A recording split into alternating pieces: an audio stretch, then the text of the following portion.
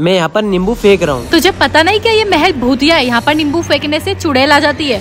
यार ऐसा कुछ भी नहीं है। आज मैं ये नींबू फेंक कर साबित करता हूँ। नहीं नहीं नहीं मत फेंक।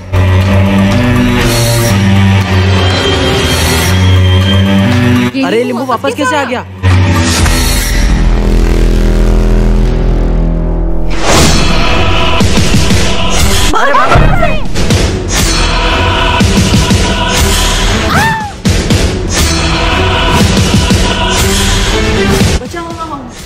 भाग गया से। मैं ये कहा आ गई?